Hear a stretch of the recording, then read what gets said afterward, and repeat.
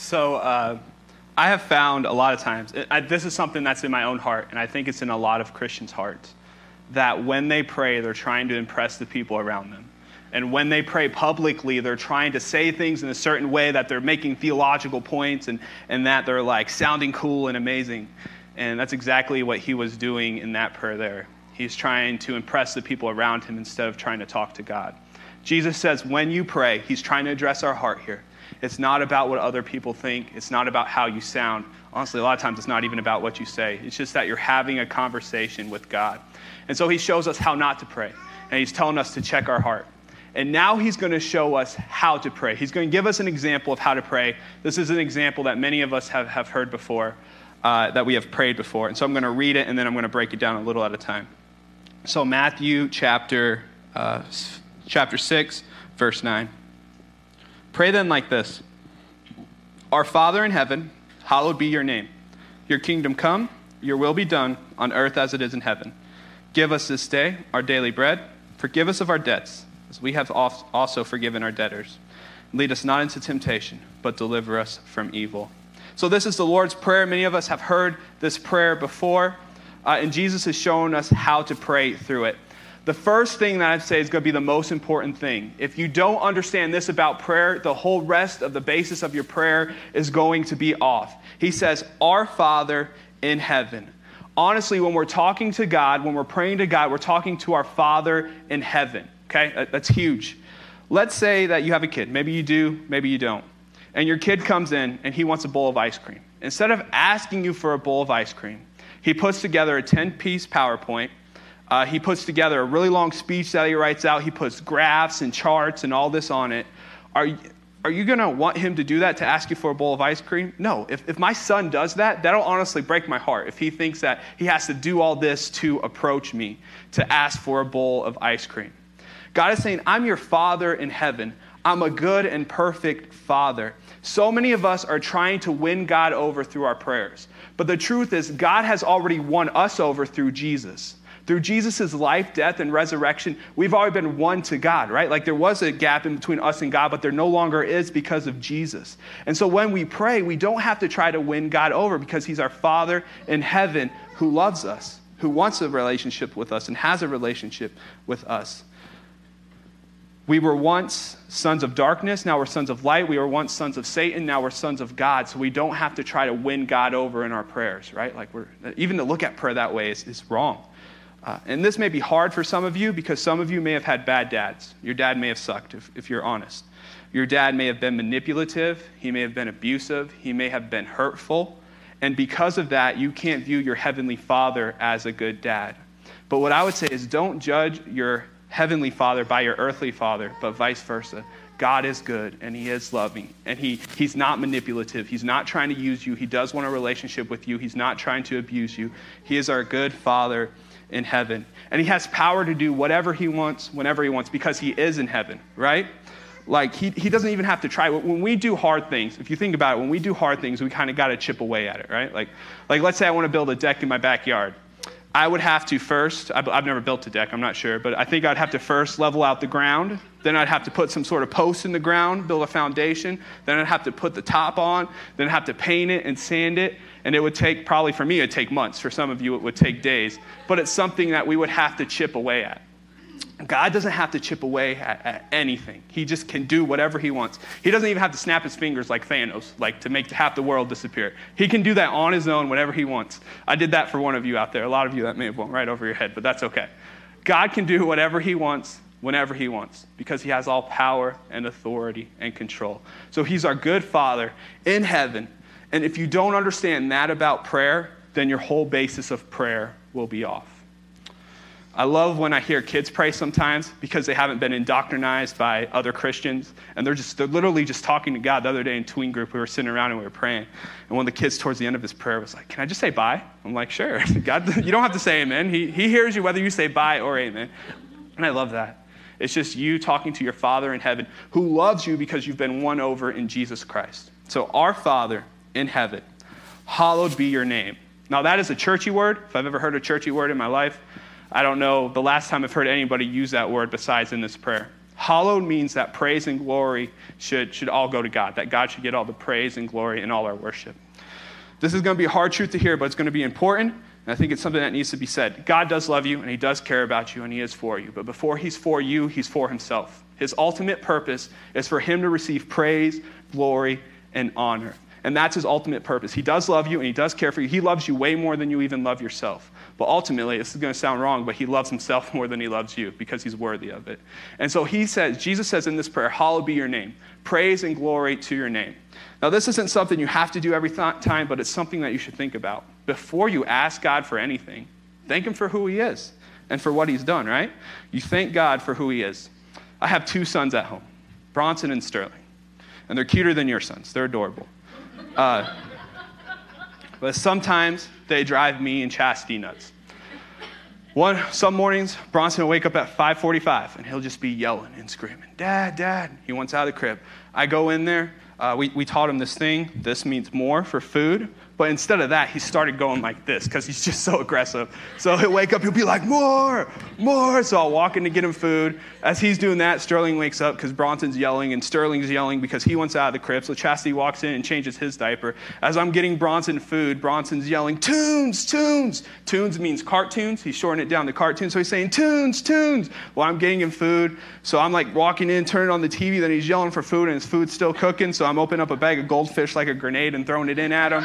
And it's just like, it's so aggravating because they just keep asking and asking and asking. And it's so, so annoying. More so for my wife because she's around them more than I am. She does amazing. But it's just frustrating, right? When someone is continually asking and asking and asking. God is saying here, hey, when you talk to me, or Jesus is showing us, hey, when you talk to God, it's not just about asking Him for things. Before you ask Him for anything, you should thank Him for who He is and what He's done in your life, right? Bronson and Sterling, they're not at a point yet where they can be like, oh, thank you, Dad, for this meal you made. But we are at a point where we can thank God for what He's done in our life. So Jesus says, Our Father, who's awesome and amazing in heaven, has all power and authority. We thank you for who you are and what you do. So, our Father in heaven, hallowed be your name. Your kingdom come, your will be done on earth as it is in heaven. We've been talking about the kingdom of God, and the kingdom of God is God's complete rule and reign over the life of his people. Uh, we've talked about that for 12 weeks in our series on the kingdom of God. So we want God's kingdom that's in heaven to come to earth, and the way that it comes to earth is through our lives, through how we love and serve the people around us. And so we, we bring God's will from heaven to earth. We bring God's kingdom from heaven to earth through our lives. We're the conduit for that.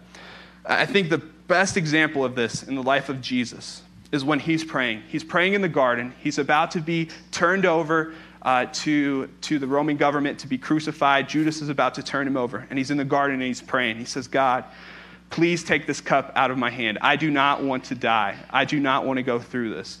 Uh, if it's your will, please take this out of my, my hand. Now, he's not scared about dying. A lot of people think they pray that because he was scared about dying. He, he's God.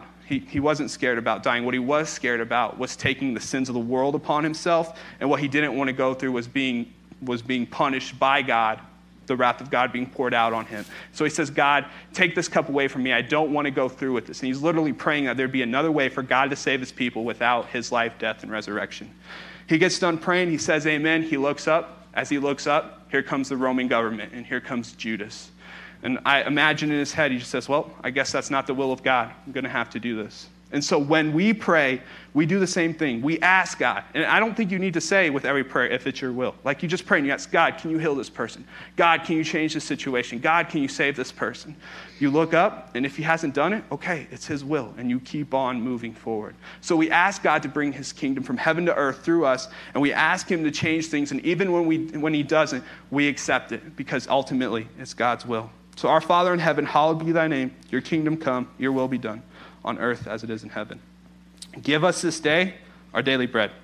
Now, we might as well skip over this part of the prayer. America is so rich, we could, the end of the world could come right now, and all food could be gone, and Americans would still be chubby for six more months. Like, we have. We have so much food and we have so much access to food that this isn't something that really hits us. What Jesus is doing here is he's asking God to meet our needs.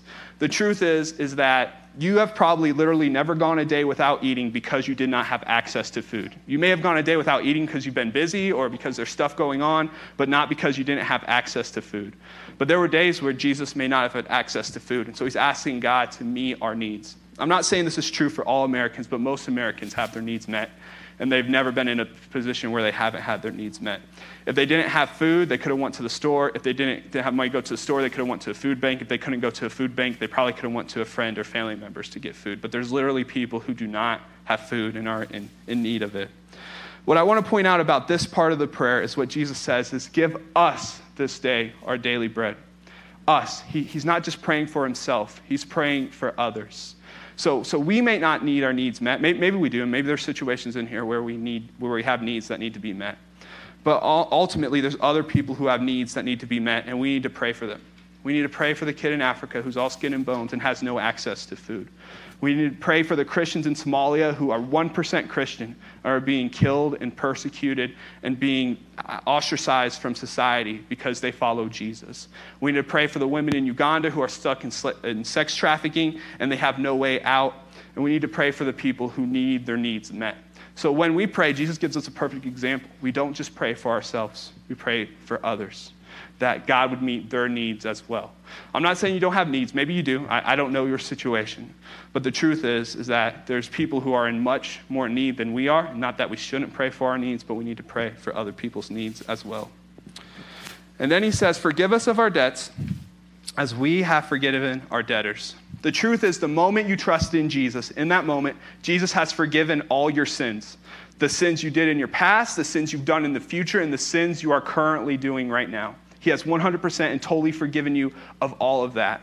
And so when we ask God to forgive us our sins, the truth is He's already forgiven us of it, right? So why do we do that? We do it because we're overwhelmed by the grace and love that God has given in our life. So we ask for forgiveness for the sins that we're committing and that also enables us to forgive others. When we realize how much God has forgiven us, then we're able to give that forgiveness to other people. That enables us to love and forgive other people. One time I was in a youth group, and uh, this lady was talking, and she said this. Uh, she said that if you had not asked Jesus for forgiveness of a specific sin in your life, then you would go to hell. Like if you sin and then you didn't ask for forgiveness for it, then you would go to hell. Uh, the truth is, your sin is so deep and so wide that you don't probably know 50% of the sins that you have committed in your heart. Like, you don't even know, like, we're talking about motives here, checking our heart. A lot of times you do the right thing for the wrong reason and you don't even know it. The truth is, Jesus has forgiven you of your sin. If you trusted in Him, not just believe, but trusted in Him, has forgiven you of every sin. And so it's not like you need to ask for forgiveness for every sin to be forgiven. That lady was, was way off when she taught that. God has forgiven you of all your sins when you trusted in Jesus. You're just overwhelmed by love and grace that God has given you that you ask for forgiveness uh, anyway. So forgive us of our debts as we forgive our debtors. And the last part of the prayer is lead us not into temptation, but deliver us from evil. One great philosopher once said, Everybody has a plan until they get punched in the mouth. And that philosopher was Mike Tyson, right? And so we all have a plan until something bad happens. Jesus says here uh, that we should pray before we are tempted. Like when we're tempted, our emotions are high, which means our judgment is low. When, when you're tempted or when you're in a stressful situation, your emotion becomes high and your judgment is low. Jesus is saying, pray before you're even tempted. Now, pray while you're tempted, but pray before you're into the temptation. Ask God to keep you away from it and lead you away from it. So he asked for prayer that he wouldn't even be tempted, but God would deliver him from evil. So that's the Lord's Prayer right there a lot of us, the Lord's Prayer, when we pray it, we, we might not even know what we're saying because it's full of churchy words and it's hard to understand. But I promise you, Jesus here is just having a conversation with his Father in heaven. So we've been talking about motives and how we need to have the right motives. What I'm going to have on the screen now is I'm going to have some questions. Uh, these questions are going to help you check your heart. You're going to see why do I pray? Like, what is my purpose in praying? And, and maybe it'll help you diagnose and see, hey, maybe I have some selfish reasons for my prayers. The first one is, does your prayer change in public? So when you come and pray in front of people, do you try to sound cooler? Do you try to sound fancier? Do you try to sound more holier? If you do, then there might be something wrong with the motive in your heart. Do you feel as if you are not good enough to pray in public? If you do, then there's something wrong in your heart. You feel like you have to try to earn God's love when you don't. God's love has been earned for you already on Jesus' life, death, and resurrection. Does your prayer focus more on what you have done instead of what God has done for you in Jesus? So you do you more focus on, on the things around you instead of how great and merciful and loving Jesus is. Next slide, please, Ethan. Are you trying to win God over in your prayers? So, like, do you feel prayer like you're coming and you're asking Him and you feel like you have to try to win Him over? Here's the truth God already knows what you're thinking, He already knows what you're going to ask. You're not trying to win Him over. We pray because God tells us to pray, and we ask because God tells us to ask. And we, and we, we ask Him for things, and He's going to do it or He's not going to do it. But you're not going to win Him over by your many words and how elegant you sound. He literally says that in the beginning. Are you praying as if God is not good? So, do you believe that, like, hey, God God is, you know, he's, he's God, but he's not all the way good. Are you praying as if God is not in heaven? So, do you believe that God can't fix the situations you're talking about? Do you believe that he cannot do what he says he can do, that he doesn't have all power and authority? This last slide is going to be specifically for some of us uh, as we have prayer time. Do you bring up prayer requests during prayer time, then not pray about it yourself? So if you bring up a prayer request when we come up here and Steve comes up here, and then you don't pray about it yourself, that may show in your heart that you are not you're not really trusting God and asking God to change anything. You just want to talk and be heard. So do, do, you do that? Do you ask for a prayer request and then not pray? I don't, I don't mean not come up to the altar and play, pray, but pray in your place, pray in your seat. That may show that your motive is wrong in it. Do you bring up a prayer request during prayer time, but then not pray about it all week? That may show you the same thing that you just want to be heard, but not that you want, that you believe that God can fix the situation. And the last one is do you pray for other people's requests when they bring them up during prayer time? Like you bring up your prayer request, but then you don't listen to everybody else and, and you just pray about your own. Do, that may show your heart. So we're trying to reveal things in our heart and trying to show things in our heart. And I want to say that I've been guilty of that last slide. I've been guilty of all three of those. So if you've been guilty of them, I'm, I'm with you, all right? We all have bad motives. We all have wrong hearts in situations. So here are three things we can do to help us help God or allow God to fix our motives, to help God show us our motives and fix our motives. The first one that we need to do is we need to ask God to. I did not have time to spell check this, so that's pretty wrong. So I'll read it off here. ask. Usually Chastity spell checks for me, but we were really busy last night, and so I didn't have time for her to spell check. Uh, first, Ask God to show you where you are doing these things, where you have wrong motives. Ask God to show you where your motives are wrong. We were talking about the Beatitudes a couple weeks and how the Beatitudes are Christian character, but we only get Christian character by the power of the Holy Spirit. So it's not like we do more, try harder, be better. A lot of things we cannot see on our own, and we need the Holy Spirit to reveal these to us. Ask Jesus, literally ask Him and pray, God, show me where my motives are wrong. Show me where, where I'm doing things for the wrong reasons. These are typically things you can't see in yourself unless the Holy Spirit reveals it to you. So ask God to show you where your motives are wrong, specifically when it comes to prayer. The second thing is be in Christian community. When you're in Christian community, people will point these things out naturally to you. Uh, I told you guys a story last week. I'll recap it real as quick as I can. Have this friend who I grew up with in, in grade school, junior high, part of high school. So we were really good friends, and then he moved off. Uh, he, he was adopted, then he got out of adoption back into foster care. He's been kind of traveling around, and then he came back to Rantoul like three, four months ago. And so I was talking to him, and every time I talk to him, it's just real toxic. He's really angry. Uh, he's just always upset and always like thinks I'm like out to get him. Well, we had a couple uh, conversation a couple weeks ago at the gym, uh, we were talking. It was the first good conversation I'd had with him. Like I didn't walk away angry. He didn't walk away angry. Even got to talk about Jesus a little bit. It was it was awesome and it was good. But a couple days later, I'm, I'm on Facebook, and he writes on my wall, "Hey Brett, you bleep bleep bleep," and starts like cussing at me and saying all these crazy crazy things about me. So I delete it. And then, like an hour later, he posts on Facebook again. He tags me in this. He says, Brett Trefren versus so and so, boxing match at the gym tomorrow morning, 8 to 9 a.m. All are welcome. like, what in the world? Dead serious. He, he does this. I untagged myself. It's still out there on Facebook. It's just not on my wall, or I'm just not tagged in it anymore. So I write him. I'm like, hey, what's going on, man? Everything's okay? He's like, time for talk is over. We need to handle this like, man, I'm, I do not even know why he's upset. He's calling me so, okay, so I have one of my friends steps in and decides to call him to see what's going on. So my friend calls him up and is like, hey, what, what's the matter? He's like, Brett's just a racist, bleep, bleep, bleep, bleep, all these crazy things. He says, I just want to handle this like men. I want to have a sophisticated boxing match. I want to handle this with hands. And he says all this to my friend. I'm like, what in the world is going on? I, I don't understand what I did. I don't understand why he's saying these things. I'm just really, really frustrated. So that night, I literally stay up almost all night. What, what I forgot to mention is I believe he has a mental health problem. Uh, I believe that he's probably schizophrenic or something like that. So I was worried that he was going to show up at my house and like try to shoot me and my family. And so I stayed up all night because I was worried about that almost all night. I finally fell asleep around three or four, slept for a couple hours. I woke up the next morning and was talking to my wife about it, and we were having conversations uh, about it. And, and she said this She said, Brett, what if through this, God is trying to show you that you don't trust Him as, as much as you think you do? Like, because I thought that I'd have to stay up and I'd have to defend my house. And I also thought that if I showed up at the gym and had a conversation with Him, that I could solve it. But she said, Well, what if God is trying to show you, hey, you actually lack trust in Him? I wouldn't have seen that if it wasn't on my own but someone who was a Christian in Christian community was able to point that thing out to me.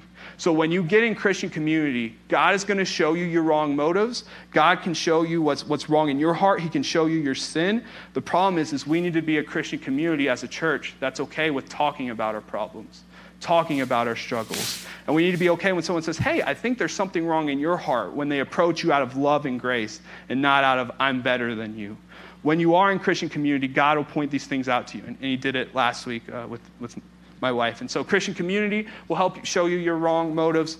And the last thing is this remember that Jesus died for that. Jesus died for the wrong motives. He just didn't die for the sin that you've committed, He died for the root of that sin, the wrong motives that you had.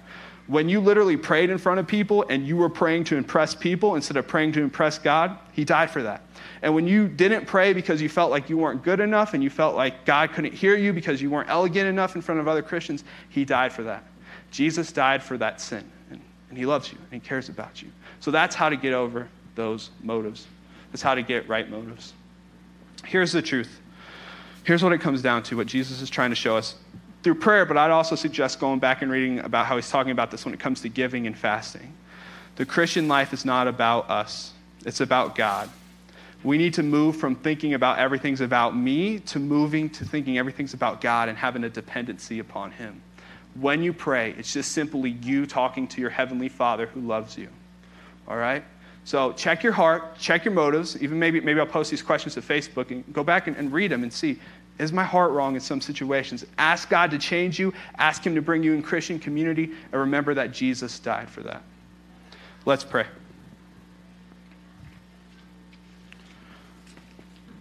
Our Father in heaven, hallowed be thy name. Your kingdom come, your will be done, on earth as it is in heaven. Give us this day our daily bread. Forgive us of our debts, as we have forgiven our debtors. Lead us not into temptation, but deliver us from evil. Amen.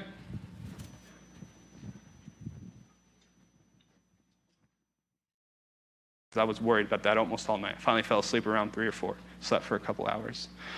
I woke up the next morning and was talking to my wife about it, and we were having conversations uh, about it. And, and, she said this She said, Brett, what if through this, God is trying to show you that you don't trust Him as, as much as you think you do?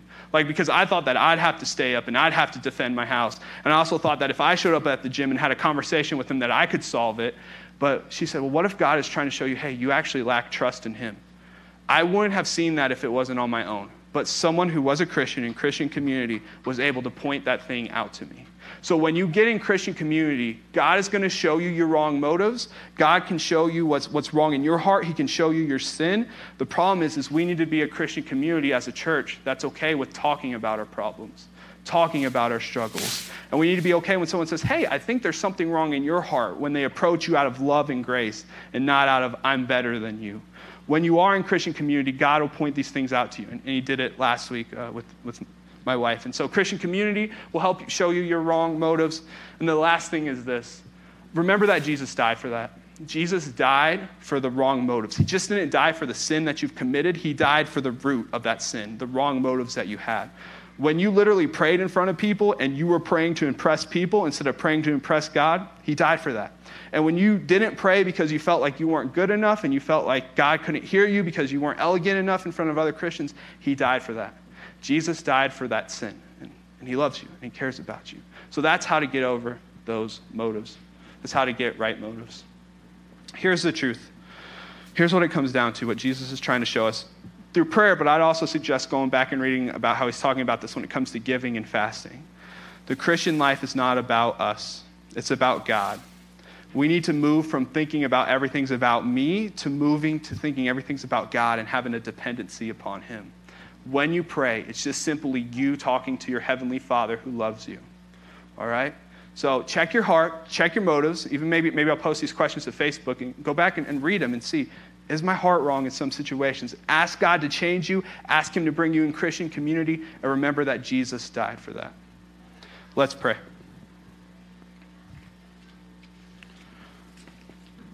Our Father in heaven, hallowed be thy name. Your kingdom come, your will be done, on earth as it is in heaven. Give us this day our daily bread. Forgive us of our debts, as we have forgiven our debtors. Lead us not into temptation, but deliver us from evil. Amen.